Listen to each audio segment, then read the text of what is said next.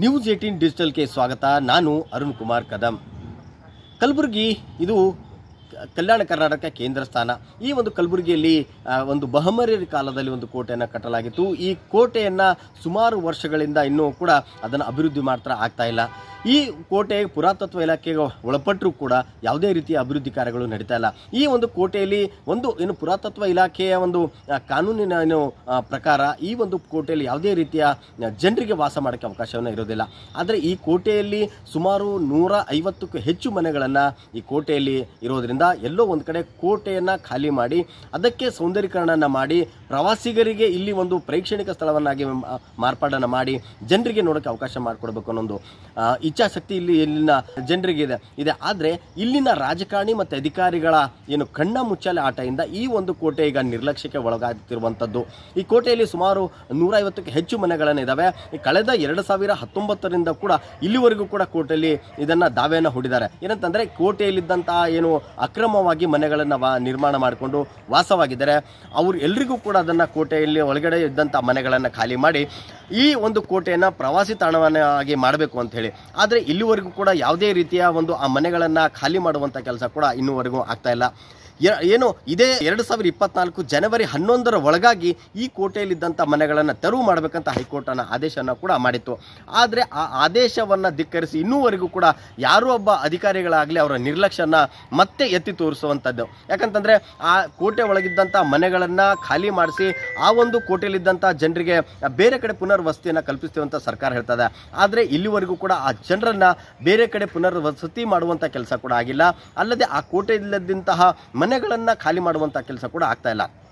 ಆ ಕೋಟೆಯಲ್ಲಿದ್ದಂಥ ಜನರನ್ನ ಎರಡು ಸಾವಿರದ ಹತ್ತೊಂಬತ್ತರಲ್ಲಿ ಒಂದು ಆ ಏನು ಕೋರ್ಟ್ ಹೈಕೋರ್ಟ್ ಆದೇಶನ ಮಾಡಿದ್ದೇನೆಂತಂದರೆ ಈ ಕೋಟೆಯಲ್ಲಿದ್ದಂಥ ಮನೆಗಳು ಮತ್ತು ಕೋಟೆ ಸುತ್ತಮುತ್ತಲಿದ್ದಂಥ ಸುಮಾರು ನೂರಕ್ಕೂ ಹೆಚ್ಚು ಏನು ಜಾಗವನ್ನು ಯಾರು ಅತಿಕ್ರಮಣ ಮಾಡ್ಕೊಂಡಿದ್ದಾರೆ. ಎಲ್ಲವನ್ನ ಕೂಡ ಖಾಲಿ ಮಾಡಬೇಕು ಅಂತ ಹೇಳಿ. ಆದರೆ ಒಂದು ಏನಂತಂದರೆ, ಜಿಲ್ಲಾಡಳಿತ ಒಂದು ಸರ ಏನು ಕೋರ್ಟಿಗೆ ಒಂದು ಮನವರಿಕೆಯನ್ನು ಮಾಡಿತ್ತು. ಏನಂತಂದರೆ, ನಾವು ಒಳಗೆ ಕೋಟೆ ಒಳಗೆ ಇದ್ದಂಥ ಜನರನ್ನು ಈಗ ಬೇರೆ ಕಡೆ ಪುನರ್ವಸತಿಯನ್ನು ಕಲ್ಪಿಸಿ, ಅದಾದ ಬಳಿಕ ಅಲ್ಲಿಗೆ ಅದ ಇದ್ದಂಥ ಕೋಟೆ ಒಳಗಿದ್ದಂಥವ್ರಿಗಿನ್ನ ಜಾಗ ಖಾಲಿ ಮಾಡಿಸ್ತೀವಿ ಅಂತ ಹೇಳಿ. ಆದರೆ ಇಲ್ಲಿವರೆಗೂ ಕೂಡ ಅದು ಕೆಲಸ ಆಗಿಲ್ಲ. ಎರಡು ಸಾವಿರದ ಇಪ್ಪತ್ನಾಲ್ಕು, ಏನು ಜನವರಿ ಹನ್ನೊಂದರ ಒಳಗೆ ಡೆಡ್ಲೈನ್ ಅನ್ನು ಕೋರ್ಟ್ ಕೊಟ್ಟಿತ್ತು. ಆದರೆ ಆ ಡೆಡ್ಲೈನ್ ಮುಗಿದು ಹೋಗಿದೆ.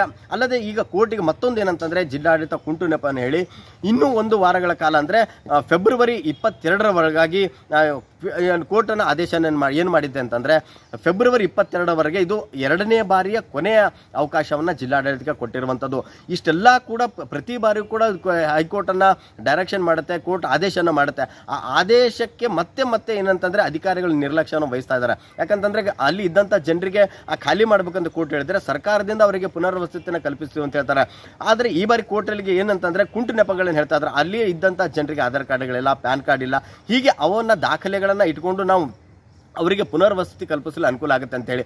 ಈ ಹಿಂದಿನ ಇದ್ದಂತಹ ಜಿಲ್ಲಾಧಿಕಾರಿಗಳು ಅವರಿಗೆ ಏನಂದ ಅವ್ರು ಇದ್ದಂಥ ಸ್ಥಳಗಳಿಗೆ ಹೋಗಿ ಆ ಒಂದು, ಆ ಕೋಟೆ ಒಳಗಿದ್ದಂಥ ಎಷ್ಟು ಜನ ಇದ್ದಾರೆ ಅದ್ರ ಬಗ್ಗೆ ಸರ್ವೆನ ಮಾಡಿದರು.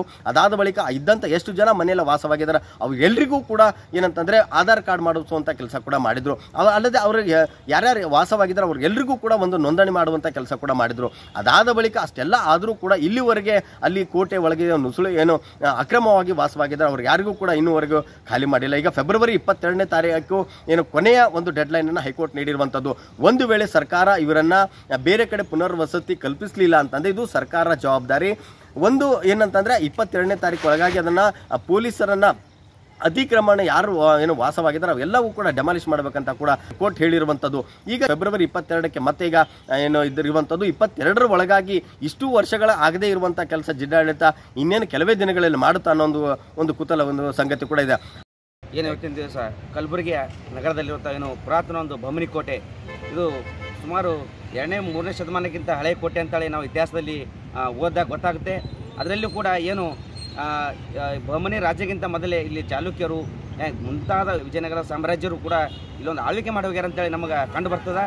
ಆ ಆಳ್ವಿಕೆಯಲ್ಲಿ ಏನಿತ್ತಪ್ಪ ಅಂದ್ರೆ ಹಿಂದೂ ರಾಜರ ಆಳ್ವಿಕೆಯಲ್ಲಿ ಏನು ಕೋಟೆ ಒಳಗಡೆ ಒಂದು ಸ್ವಯಂಭ ಸೋಮೇಶ್ವರ ದೇವಸ್ಥಾನ ನಿರ್ಮಾಣ ಮಾಡಿದ್ರು. ಮುಂದೆ ಬಂದಂತಹ ಏನು ಈ ಬಹಮನಿ ಮುಸ್ಲಿಂ ರಾಜರಾದರು, ಅವರು ಆ ದೇವಸ್ಥಾನವನ್ನು ಸಂಪೂರ್ಣವನ್ನು ನಾಶ ಮಾಡಿದ್ರು. ಆದರೆ ಅವಶೇಷಗಳನ್ನು ಈಗಲೂ ಕೂಡ ಅಲ್ಲಿ ಹೋದರೆ ಸಿಗ್ತಾವ? ಅಲ್ಲೊಂದು ದೇವಸ್ಥಾನ ಇದೆ ಎಂಬುದು ಎಲ್ಲರಿಗೂ ಗೊತ್ತಿರುವಂಥ ವಿಷಯ. ಅದೇ ರೀತಿಯಾಗಿ ಇವತ್ತಿನ ದಿವಸ, ಆ ಬಹಮನಿ ಕೋಟೆ, ಈ ಕೋಟೆ ಅಂದರೆ ಒಂದೇ ಸಮಾಜಕ್ಕೆ ಒಬ್ಬರಿಗೆ ಸೀಮಿತ ಅಲ್ಲೇ. ಇದು ಸೆಂಟ್ರಲ್ ಗೌರ್ಮೆಂಟದ ಒಂದು ಆಸ್ತಿ. ಒಂದು ಪ್ರಾಚೀನ ಇಲಾಖೆ, ಪ್ರಾಚೀನ, ಭಾರತದ ಪ್ರಾಚೀನ ವಸ್ತು ಇಲಾಖೆಗೆ ಸಂಬಂಧಪಟ್ಟಂಥ ಒಂದು ಆಸ್ತಿ ಅದು. ಆದರೆ ಇವತ್ತಿನ ದಿವಸ ಈ ಆಸ್ತಿ ಏನಾಗ್ಯದಪ್ಪ ಅಂದ್ರೆ, ಏನು ಅಲ್ಲಿ ಏನು ಸ, ಕೆಲವು ಕೆಲವು ಮುಸ್ಲಿಮರು ಅದನ್ನು ವಶಪಡಿಸ್ಕೊಂಡು ತಮ್ಮದೇ ರಾಜ್ಯ, ತಮ್ಮದೇ ಒಂದು ಇದು ಅಂತೇಳಿ ಮಾಡ್ಕೊಂಡು ಕೂತಾರೆ. ಏನು ಅಲ್ಲಿ ಒಳಗಡೆ ಸುಮಾರು ಒಂದು ನೂರೈವತ್ತು, ಎರಡುನೂರು ಮನೆಗಳು ಮಾಡ್ಕೊಂಡು ಕೂತಾರೆ. ಸುಮಾರು ಬಾರಿ ಇದ್ರ ಬಗ್ಗೆ ಅನೆ- ಅನೇಕ ಹೋರಾಟಗಳಾದವು. ಆದರೂ ಕೂಡ ಸಂಬಂಧಪಟ್ಟ ಇಲಾಖೆ ಆಗಿರ್ಬೋದು ಜಿಲ್ಲಾಡಳಿತ ಕೂಡ ಅದ್ರ ಬಗ್ಗೆ ತಲೆನೇ ಕರೆಸ್ಕೊತಾ ಇಲ್ಲ.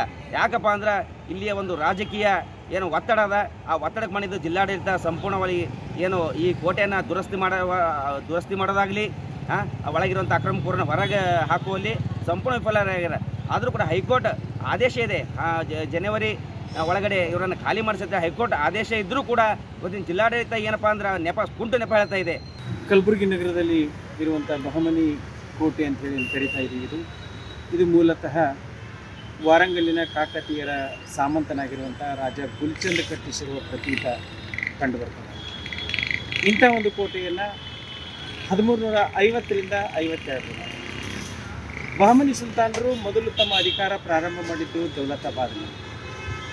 ಆ ದೌಲತಾಬಾದ್ನಲ್ಲಿ ಅಸ್ತಿತ್ವಕ್ಕೆ ಬಂದಂಥ ರಾಜ್ಯ ಮೊಹಮ್ಮದ್ ಬಿನ್ ತಗಲಕ್ಕನ ದಾಳಿಗೆ ಅಂಜಿಕೊಂಡು ಅವರು ಸುರಕ್ಷಿತವಾದ ಸ್ಥಳವನ್ನು ಹುಡುಕ್ತಾರೆ. ಅವರಿಗೆ ಸುರಕ್ಷಿತವಾಗಿ ಕಂಡಿರುವಂಥದ್ದು ಇವತ್ತಿನ ಕಲಬುರಗಿ ನಗರ. ಇಲ್ಲಿ ಬಂದುಕೊಂಡು ತಮ್ಮ ರಾಜ್ಯವನ್ನು ಪುನರ್ ನಿರ್ಮಾಣ ಮಾಡಿ ಕೋಟೆಯನ್ನು ಬಲಪಡಿಸ್ತಾರೆ. ತಮಗೆ ಅವಶ್ಯವಾಗಿರುವ ಕಟ್ಟಡಗಳನ್ನು ನಿರ್ಮಾಣ ಮಾಡ್ತಾರೆ. ನಮಗೆ ದಕ್ಷಿಣ ಭಾರತದಲ್ಲಿ ಮೊಟ್ಟ ಮೊದಲನೇ ಒಂದು ಇಸ್ಲಾಂ ಆಳ್ವಿಕೆಯ ಮನೆತನ ಅಂದರೆ ಇದು ಗುಲ್ಬರ್ಗಾದಲ್ಲಿರುವಂಥ ಬಹಮನಿಯರ ಮನೆತನ. ಆದರೆ ಇವತ್ತು ನಮಗೆ ಪ್ರವಾಸೋದ್ಯಮ ದೃಷ್ಟಿಯಿಂದ ನೋಡಬೇಕಾಗಿದ್ದರೆ ಈ ಕೋಟೆ ಮತ್ತು ಸುತ್ತಮುತ್ತಲಿನ ಸ್ಮಾರಕಗಳು ಪ್ರವಾಸಿಗರನ್ನು ಸೆಳೆಯುವಲ್ಲಿ ವಿಫಲವಾಗಿದೆ ಕಾರಣ ಇಷ್ಟೇ ಇಲ್ಲಿ ಯಾವುದೇ ರೀತಿಯ ಅಭಿವೃದ್ಧಿ ಕೆಲಸಗಳು ಆಗ್ತಾ ಇಲ್ಲ. ಅದರ ಜೊತೆ ಜೊತೆಗೆ ಕೋಟೆ ಸಂಪೂರ್ಣವಾಗಿ ಅದರ ಒಳಭಾಗದಲ್ಲಿನೂ ಮತ್ತು ಹೊರಭಾಗದಲ್ಲಿ ಎರಡೂ ಕಡೆಗೆ ನಾವು ಎನ್ಕ್ರೋಚ್ಮೆಂಟ್ ಆಗಿರುವುದನ್ನು ಕಾಣ್ತೀವಿ. ಇವತ್ತು ದೇಶ ವಿದೇಶಿಯ ಪ್ರವಾಸಿಗರು ಬರ್ತಾರೆ ಕೋಟೆಯನ್ನು ವೀಕ್ಷಣೆ ಮಾಡ್ತಾರೆ ಆದರೆ ಅವರು ಸಂತೋಷವನ್ನು ವ್ಯಕ್ತಪಡಿಸದೆ ಹಾಗೆ ಹೊರಟು ಹೋಗ್ತಾರೆ. ಅದೇ ಬೀದರ್ ಕೋಟೆಯನ್ನು ನೋಡಿದರೆ, ಬಿಜಾಪುರ ಸ್ಥಳಗಳನ್ನು ನೋಡಿದರೆ ಭಾಳ ಸಂತೋಷ ಭರಿತವಾಗ್ತಾರೆ. ಈ ಕಡೆ ನಮಗೆ ಬಿಜಾಪುರ ಮತ್ತು ಬೀದರ್ ಎರಡೂ ಅವು ಅಭಿವೃದ್ಧಿ ಹೊಂದಿರುವಂಥ ಕೋಟೆಗಳು. ಅದಕ್ಕಿಂತ ಮೂಲ ಕೋಟೆಯಾಗಿರುವ ಕಲಬುರಗಿ ಕೋಟೆ ಯಾವುದೇ ರೀತಿಯ ಅಭಿವೃದ್ಧಿಯನ್ನು ನಾವು ಕಾಣುವುದಿಲ್ಲ. ಇಂಥ ಒಂದು ನಿರ್ಲಕ್ಷ್ಯಕ್ಕೆ ಒಳಪಟ್ಟ ಕೋಟೆಯ ಕಡೆಗೆ ಪ್ರವಾಸೋದ್ಯಮ ಇಲಾಖೆ ಆಗಿರ್ಬೋದು, ಜಿಲ್ಲಾಡಳಿತ ಹಾಗೂ ಸಂಬಂಧಪಟ್ಟಂಥ ಇಲಾಖೆಗಳು ಗಮನ ಹರಿಸಿ ಆ ಕೋಟೆಯ ಅಭಿವೃದ್ಧಿಯನ್ನು ಮಾಡಿ. ಹೆಚ್ಚಿನ ಸಂಖ್ಯೆಯ ಪ್ರವಾಸಿಗರು ಆಕರ್ಷಿಸುವಂತೆ ಮಾಡಿದರೆ ಮುಂದಿನ ದಿನಗಳಲ್ಲಿ ಕಲಬುರಗಿ ನಗರ ಮತ್ತು ಕಲಬುರಗಿ ನಗರದ ಸುತ್ತಮುತ್ತಲಿನ ಸ್ಥಳಗಳಿಗೆ ದೇಶ ವಿದೇಶಿಯ ಪ್ರವಾಸಿಗರು ಬಂದು ಇವುಗಳನ್ನು ವೀಕ್ಷಣೆ ಮಾಡ್ತಾರೆ ಅನ್ನುವಂಥ ಒಂದು ಭರವಸೆ ನನಗಿದೆ. ಆ ಒಂದು ಕೋಟೆಯಲ್ಲಿ ಸುಮಾರು ವರ್ಷಗಳಿಂದ ಹಾಳು ಬಿದ್ದಂಥ ಕೋಟೆಗಳಾದರೂ ಕೂಡ ಪ್ರವಾಸಿಗರು ಕಲಬುರಗಿ ಅಲ್ಲದೆ ಬೇರೆ ಬೇರೆ ಜಿಲ್ಲೆಗಳಿಂದ ಹೊರದೇಶಗಳಿಂದ ಕೂಡ ಜನರು ಅಲ್ಲಿ ಒಂದು ಕೋಟೆನ ವೀಕ್ಷಣೆ ಮಾಡಲಿಕ್ಕೆ ಬರ್ತಾರೆ. ಆ ವೀಕ್ಷಣೆ ಮಾಡೋಂಥ ಕೋಟೆ ಏನಾಗಿದ್ದಂತೆ ಕಲಬುರಗಿ ಇದು ಬಹಮನಿ ಕೋಟೆ ಹಾಳು ಕೊಂಪಿ ಅಂತ ಆಗಿರುವಂಥದ್ದು ಪ್ರವಾಸಿಗರಿಗೆ ಕೈ ಮಾಡಿ ಏನೋ ತನ್ನತ್ತ ಪ್ರೇಕ್ಷಣಿಕ ಸ್ಥಳ, ತನ್ನತ್ತ ಸೆಳೆಯಬೇಕು. ಆದರೆ ಕಲಬುರಗಿ ಕೋಟೆ ಏನು ಒಳಗಡೆ ಪ್ರವೇಶ ಮಾಡಿದರೆ ಸಾಕು. ಪ್ರವಾಸಿಗರನ್ನ ಯಾಕಾದ್ರೂ ಒಳಗೆ ಬಂದಿದ್ದೀವಿ ಅನ್ನೋ ಒಂದು ಮನಸ್ಥಿತಿ ಮತ್ತು ಆ ಒಂದು ಫೀಲಿಂಗ್ ಅಲ್ಲಿ ಏನು ಪ್ರವಾಸಿಗರು ಬರ್ತಾ ಇರುವಂಥದ್ದು ಸರ್ಕಾರ ಇಷ್ಟೆಲ್ಲ ಅನುದಾನ ಇದ್ರು ಕೂಡ ಹಳೆಯ ಪುರಾತತ್ವ ಇಲಾಖೆ ಏನು ಏನು ಪ್ರಾಚ್ಯ ವಸ್ತುಗಳ ಸಂಗ್ರಹಾಲಯ ಆಗಿದೆ, ಅವು ಇಲ್ಲದೆ ಈ ಕೋಟೆಗಳನ್ನು ಕೂಡ ಇದ್ದಾವೆ. ಈ ಎಲ್ಲದಕ್ಕೂ ಕೂಡ ಅಭಿವೃದ್ಧಿಪಡಿಸಿ ಜನರಿಗೆ ಒಂದು ಅವಕಾಶವನ್ನು ಮಾಡಿಕೊಡೋದಕ್ಕೆ ಯಾಕೆ ಹಿಂದೇಟು ಆಗ್ತಿದೆ? ಈ ಒಂದು ಪ್ರತಿ ಬಾರಿಯೂ ಕೂಡ ಜಿಲ್ಲಾಡಳಿತ ಕುಂಟು ಅನ್ನೋದು ಏನು ಕೋರ್ಟ್ಗೆ ಹೇಳಿ ಇದೇ ರೀತಿ ಒಂದು ಮುಂದೆ ಹಾಕುವಂಥ ತಂತ್ರ ಕೂಡ ಮಾಡ್ಕೊಂಡು ಬರ್ತಾ ಇದ್ದಾರೆ. ಆದಷ್ಟು ಬೇಗ ಕೋಟೆಯನ್ನು ಅಭಿವೃದ್ಧಿ ಮಾಡಬೇಕು. ಕೋಟೆ ಒಳಗಡೆ ಇದ್ದಂತಹ ಜನರನ್ನ ಬೇರೆ ಕಡೆ ಪುನರ್ವಸತಿಯನ್ನು ಕಲ್ಪಿಸಿ, ಆ ಮನೆಗಳನ್ನು ಖಾಲಿ ಮಾಡಿಸ್ಬೇಕು. ಅಲ್ಲದೆ ಕೋಟೆ ಸುತ್ತಮುತ್ತಲಿನ ಸುಮಾರು ನೂರಕ್ಕೂ ಹೆಚ್ಚು, ಏನು ಜನರನ್ನು ವಾಸವಾಗಿದ್ದಾರೆ. ಕೋಟೆ ಹೊರಗಡೆ ಇದ್ದಂಥ ಎಂಕ್ರೋಚ್ಮೆಂಟ್ ಏನು ಏನು, ಅತಿಕ್ರಮಣ ಏನು ಮಾಡ್ಕೊಂಡಿದ್ದಾರೆ, ಅದನ್ನು ಕೂಡ ಖಾಲಿ ಮಾಡಿಸಬೇಕು. ಮಾಡಿಸಿ ಒಂದು ಕೋಟೆಯನ್ನು ಉತ್ತಮ ಸ್ಥಿತಿಯಲ್ಲಿ, ಏನು, ಪ್ರವಾಸಿಗರನ್ನು ಆ ಒಂದು ಕೋಟೆ ವೀಕ್ಷಣೆಗೆ ಬರೋಕ್ಕೆ ಅನುಕೂಲ ಮಾಡಿಕೊಡ್ಬೇಕು ಅನ್ನೋ ಒಂದು ಮಾತು ಕೂಡ ಇಲ್ಲಿನ ಜನರ ಆಗ್ರಹವಾಗಿದೆ.